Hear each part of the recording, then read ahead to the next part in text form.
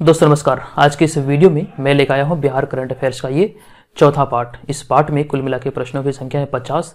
जैसा कि आप सभी को पता है कि इससे पहले ऑलरेडी तीन पार्ट चैनल पे अपलोड हो चुका है, जिसमें प्रश्नों की संख्या पचास पचास थे। यानी कि कुल मिला के एक सौ पचास प्रश्न यहाँ पे बिहार करंट अफेयर्स का आपको दिया जा चुका है। तो इस चौथे पार्ट में हम देखेंगे कुल मिला के पचास प्रश्न, और आप सभी को बता दूँ कि ये सभी प्रश्न जो है, ये बिहार करंट अफेयर्स के हैं दो हज़ार बीस के। तो आने वाली आगामी सभी परीक्षाओं, जो महत्वपूर्ण परीक्षाएँ हैं, बीपीएससी बिहार एस आई जो भी यहाँ पे इंपॉर्टेंट परीक्षाएँ वो सभी के दृष्टिकोण से ये काफ़ी महत्वपूर्ण होने वाली है। तो ये सीरीज़ आप पूरा देखें। अगर आप हमारे चैनल पर पहली बार विज़िट किए हैं तो चैनल को सब्सक्राइब कर लें और बेल आइकन को ज़रूर दबाएँ। जो भी नई वीडियो आएँगे, उसका सूचना सबसे पहले आप तक पहुँचेगा और वीडियो को आप देख पाएँगे।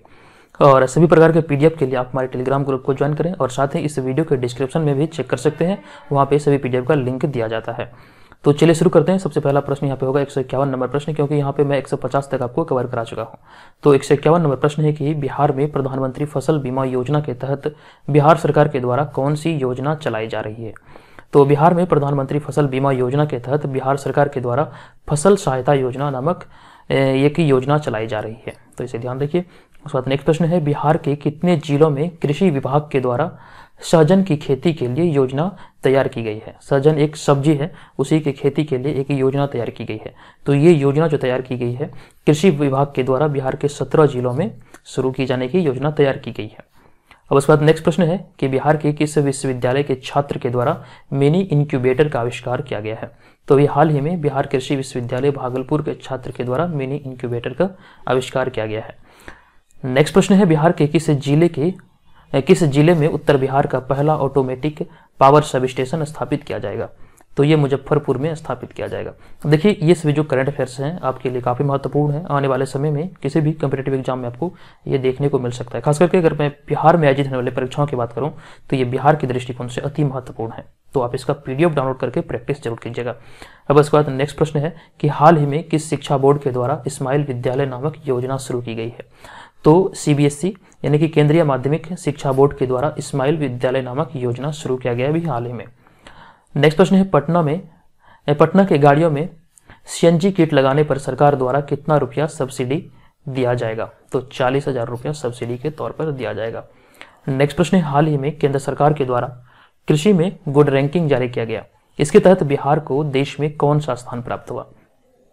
तो बिहार को इसमें गुड रैंकिंग जो भी कृषि का गुड रैंकिंग था, उनमें चौथा स्थान बिहार को प्राप्त हुआ है। अब उसके बाद नेक्स्ट प्रश्न है, पोलियो बिहार में पोलियो के तर्ज पर किस बीमारी की वैक्सीन लोगों को दिया जाएगा? तो इसका नाम है जापानी इन्फेसे इंसेफेलाइटिस इसका वैक्सीन दिया जाएगा। तो इस बात का आप ध्यान रखिएगा। अब उसके बाद हम यहाँ पे आगे बढ़ेंगे, लेकिन उससे पहले आपको बता दूँ कि अगर आप घर बैठे बिहार में आयोजित होने वाले B P S C B S S C Bihar S I E S I आदि परीक्षाओं की तैयारी में लगे हैं तो ये सभी जो पी डी एफ़ आप यहाँ पे देख सकते हैं, सभी का लिंक आपको इस वीडियो के डिस्क्रिप्शन में है। आप वहाँ पर जाकर सभी पी डी एफ़ को खरीद के आप अपनी तैयारी को अच्छी तरीके से एकदम सुनियोजित तरीके से कर सकते हैं। तो देर ना कीजिए, इस वीडियो के डिस्क्रिप्शन में चेकआउट कीजिए, वहाँ पे सभी पीडीएफ को वहाँ पे डाउनलोड कर सकते हैं। आप सस्ती कीमतों पे ये पीडीएफ आपके लिए अवेलेबल कराया जाता है। आप वहाँ पे जाके से खरीद सकते हैं। चलिए हम आगे बढ़ते हैं और देखेंगे नेक्स्ट प्रश्न। हाल ही में आई राष्ट्रीय जनसंख्या आयोग की एक रिपोर्ट के अनुसार 2036 तक बिहार में नवजात मृत्यु दर अनुमानित कितना हो जाएगा? तो ये हो जाएगा छब्बीस नेक्स्ट प्रश्न, हाल ही में पटना में आयोजित सत्तरवें मोइनुल हक फुटबॉल टूर्नामेंट में कौन सा जिला ने खिताब अपने नाम किया? तो सत्तरवें मोइनुल हक फुटबॉल टूर्नामेंट में पटना जिला ने खिताब अपने नाम किया। नेक्स्ट प्रश्न है, हाल ही में बिहार में राष्ट्रीय जनसंख्या रजिस्टर का कार्य कब से शुरू किया जाने का निर्णय लिया गया था? ये जो निर्णय लिया गया था 25 मई 2020 से शुरू किए जाने का निर्णय लिया गया था। देखिए, ये जो आप यहाँ पे देख रहे हैं, मैं जो पढ़ा रहा हूँ आप लोगों को, ये अगर आपको मोबाइल में देखने में किसी प्रकार की कोई दिक्कत हो ये फॉन्ट जहाँ पे लिखा गया, अगर आपको लगे कि ये छोटा है तो कृपया कमेंट करके मुझे ज़रूर बताइएगा। मैं इसे बड़ा करने का प्रयास करूँगा।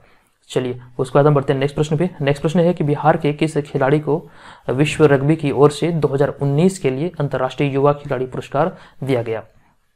इस प्रश्न का राइट आंसर है स्वीटी कुमारी। नेक्स्ट प्रश्न है, हाल ही में बिहार के किस व्यक्ति को चिकित्सा जगत में उल्लेखनीय योगदान के लिए उत्तर प्रदेश में अस्प्रिशिएशन अवार्ड से सम्मानित किया गया? इसका राइट आंसर होगा डॉक्टर रजनीश राज को। उत्तर प्रदेश में एस्प्रेशन अवार्ड से सम्मानित किया गया। अप्रिशिएशन अवार्ड से सम्मानित किया गया। ध्यान रखिएगा, उत्तर प्रदेश में अप्रिशिएशन अवार्ड से सम्मानित किया गया डॉक्टर रजनीश राज को। चिकित्सा जगत के क्षेत्र में उल्लेखनीय योगदान के लिए ये बिहार के रहने वाले थे। अगला प्रश्न है कि बिहार के किस व्यक्ति को उत्तर प्रदेश के मुख्यमंत्री योगी आदित्यनाथ के द्वारा भारत भारतीय सम्मान से सम्मानित किया गया है? तो उषा किरण को उत्तर प्रदेश के मुख्यमंत्री योगी आदित्यनाथ के द्वारा भारत भारतीय सम्मान से सम्मानित किया गया। उषा किरण। अब उसके बाद नेक्स्ट प्रश्न है कि बिहार के कितने जिलों में बिहार कृषि विश्वविद्यालय भागलपुर के द्वारा बायोटेक किसान हब बनाया जाएगा? तो ये छह जिलों में बनाने का निर्णय लिया गया है तो इसे ध्यान रखिएगा। अब उसके बाद हम पढ़ते हैं नेक्स्ट प्रश्न पे। हमारा यहाँ पर नेक्स्ट प्रश्न है कि हाल ही में बिहार के किस व्यक्ति को अब्दुल कलाम नेशनल फेलोशिप पुरस्कार से सम्मानित किया गया है? तो पुष्पक भट्टाचार्य को ये अभी हाल ही में अब्दुल कलाम नेशनल फेलोशिप पुरस्कार से सम्मानित किया गया है। ये नाम याद रखिएगा। इस तरह के प्रश्न काफ़ी इंपॉर्टेंट होते हैं, जो भी पुरस्कार से संबंधित होते हैं। तो पुष्पक भट्टाचार्य को अभी हाल ही में ये अवार्ड दिया गया है। अगला प्रश्न, हाल ही में खगेंद्र ठाकुर का निधन हो गया, वह क्या थे? खगेंद्र ठाकुर एक साहित्यकार थे। नेक्स्ट प्रश्न, हाल ही में प्रधानमंत्री जी का कार्यक्रम, परीक्षा पर चर्चा। कार्यक्रम में बिहार के एकमात्र छात्र ने भाग लिया, जिसका नाम क्या था? तो इसमें परीक्षा पर चर्चा नामक कार्यक्रम था प्रधानमंत्री नरेंद्र मोदी जी का। तो इसमें बिहार के एकमात्र छात्र ने भाग लिया था। इसका नाम था जूली सागर। नेक्स्ट प्रश्न है कि बिहार बागवानी विकास सोसाइटी कृषि विभाग के द्वारा तीन दिवसीय सरकारी महोत्सव 2020 का आयोजन हाल ही में कहाँ का किया गया? तो ये बिहार बागवानी विकास सोसाइटी कृषि विभाग के द्वारा तीन दिवसीय सरकारी महोत्सव 2020 का आयोजन हाल ही में पटना में किया गया। अब उसके बाद नेक्स्ट प्रश्न है कि बिहार में क्षारिय तथा लवन युक्त खेती की मिट्टी का सरकार अपने खर्चों पर इलाज करेगी। इसकी शुरुआत किस ज़िले से किया गया?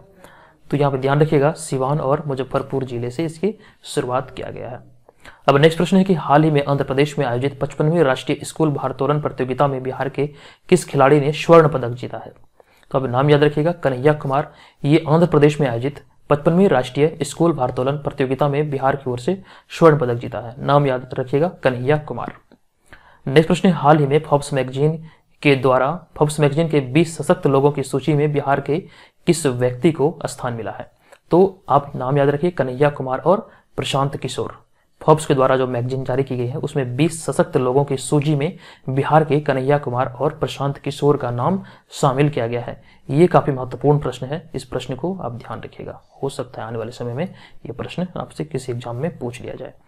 अब उसके बाद हम बढ़ते हैं नेक्स्ट प्रश्न पे। यहाँ पे हमारा अगला प्रश्न है कि हाल ही में बिहार का पहला हाई सिक्योरिटी जेल किस ज़िले में बनाया जा रहा है? तो ये भागलपुर में हाई सिक्योरिटी जेल का निर्माण किया जा रहा है। बिहार का पहला हाई सिक्योरिटी जेल नेक्स्ट प्रश्न है, हाल ही में बिहार में हाल ही में दिव्यांगों के लिए निजी सेक्टर में कितने प्रतिशत सीटें आरक्षित किया गया है? तो निजी सेक्टर में पाँच प्रतिशत सीटें दिव्यांगों के लिए आरक्षित किया गया है बिहार में। नेक्स्ट प्रश्न है, हाल ही में सरकारी स्कूलों के मध्यान्ह भोजन की रैंकिंग में बिहार का कौन सा जिला प्रथम स्थान प्राप्त किया है? तो रोहतास जिला मध्यान्ह भोजन के रैंकिंग में प्रथम स्थान प्राप्त किया है। उसके बाद नेक्स्ट प्रश्न है, बिहार के किस ज़िले में विभिन्न तरह की परीक्षाओं के लिए पच्चीस हज़ार क्षमता वाले परीक्षा भवन का निर्माण करने की घोषणा की गई है। तो इसका राइट आंसर है पटना में। जो भी वनडे कम्परेटिव एग्ज़ाम होते हैं, उन एग्ज़ाम को दिलाने के लिए पटना में पच्चीस हज़ार क्षमता वाले परीक्षा भवन का निर्माण किए जाने की घोषणा किया गया है। यह भी प्रश्न महत्वपूर्ण है। अब उसके बाद नेक्स्ट प्रश्न है, हाल ही में बिहार का दूसरा राष्ट्रीय व्याघ्र अभ्यारण्य के रूप में किस ज़िले के जंगल को विकसित किया जाने का निर्णय लिया गया है? तो ये कैमूर इसका राइट आंसर होगा। बिहार का दूसरा राष्ट्रीय व्याघ्र अभ्यारण्य के रूप में कैमूर के ज़िले को विकसित किए जाने का निर्णय लिया गया है। उसके बाद अगला प्रश्न है, एक सौ अठहत्तर नंबर प्रश्न हाल ही में किस व्यक्ति को इंटरनेशनल एजुकेशनलिस्ट अवार्ड से सम्मानित किया गया है, जो एक बिहारी है?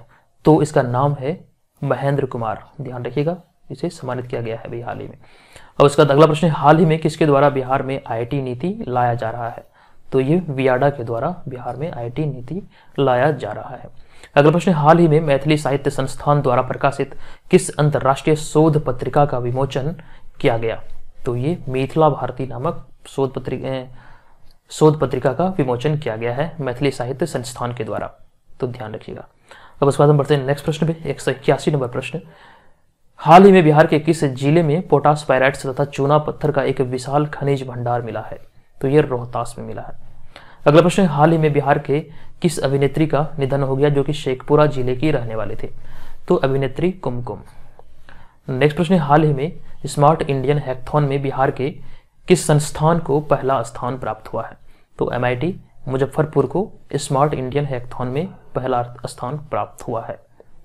चलिए, उसके बाद हम आगे बढ़ेंगे। अगला प्रश्न हाल ही में बिहार के जिलों में किस कीड़े ने हमला किया?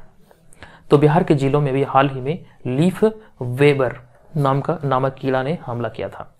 अगला प्रश्न है कि बिहार में कैमूर के पहाड़ियों के अंतर्गत जंगलों को टाइगर रिज़र्व घोषित किए जाने का निर्णय किया गया है।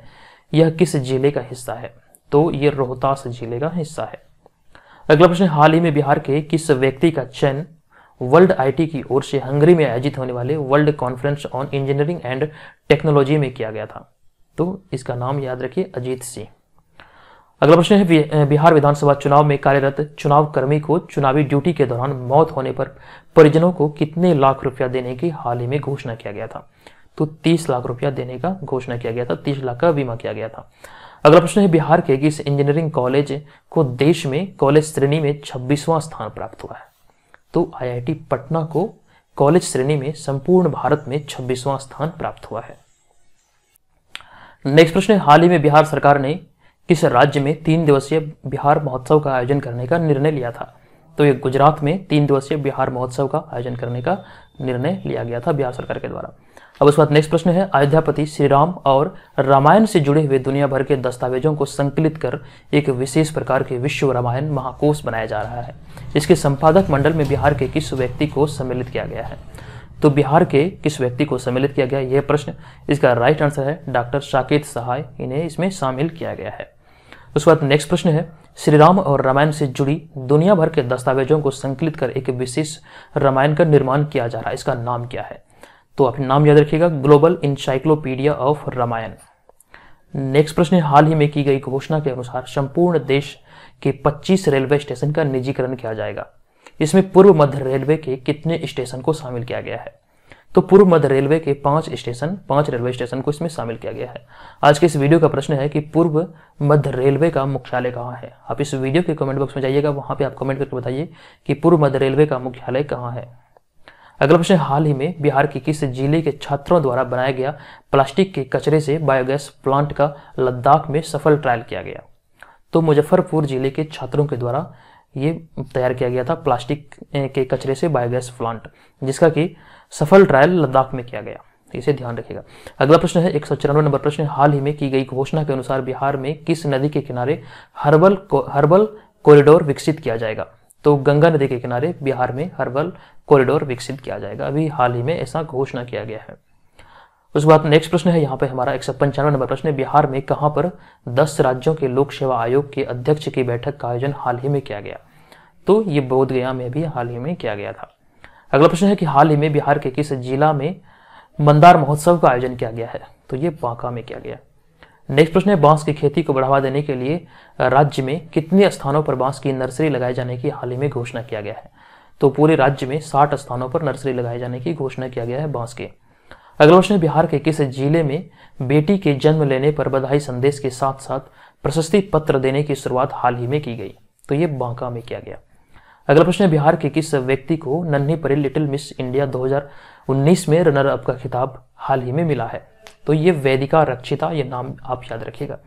उसके बाद नेक्स्ट प्रश्न है यहाँ पर, बिहार के किस ज़िले में प्रसिद्ध सहनाई वादक बिस्मिल्ला खां के नाम पर सांस्कृतिक विश्वविद्यालय की स्थापना किए जाने का निर्णय लिया गया है? तो बक्सर में ये उस्ताद बिस्मिल्ला खां के नाम पर सांस्कृतिक विश्वविद्यालय बनाए जाने का निर्णय लिया गया है। तो राइट आंसर है बक्सर। तो यहाँ पर मैंने आपको एक सौ इक्यावन से लेकर 200 तक के प्रश्नों को, जो कि बिहार करंट अफेयर्स के प्रश्न थे, वो आप लोगों को कवर कराया। तो आपको एक बार पुनः बता दूँ कि अगर आप इसका पीडीएफ लेना चाहते हैं तो इस वीडियो के डिस्क्रिप्शन में लिंक दिया गया है। आप वहाँ पर जाकर ये सभी पीडीएफ जो यहाँ पे लिखा गया है, आप सभी पीडीएफ को वहाँ से जाके खरीद सकते हैं। और साथ ही जो मॉक टेस्ट लाया जा रहा है बीपीएससी प्री के लिए बीपीएससी प्री एग्ज़ाम के लिए, जो कि छियासठवें बीपीएससी अभी आयोजित होने वाली है तो इसके लिए लगभग आपको 20 प्लस मॉक टेस्ट यहाँ पे मिलेगा। तो उसका भी यहाँ पे एक व्हाट्सअप नंबर दिया गया है। अगर आप इसे टेस्ट सीरीज़ को ज्वाइन करना चाहते हैं तो वहाँ पर आप टेस्ट सीरीज़ लिख के उस व्हाट्सअप नंबर पे मैसेज करेंगे तो आपको सारी डिटेल भेज दी जाएगी। तो आज के इस वीडियो में इतना ही। मिलेंगे नेक्स्ट वीडियो में। तब तक के लिए धन्यवाद।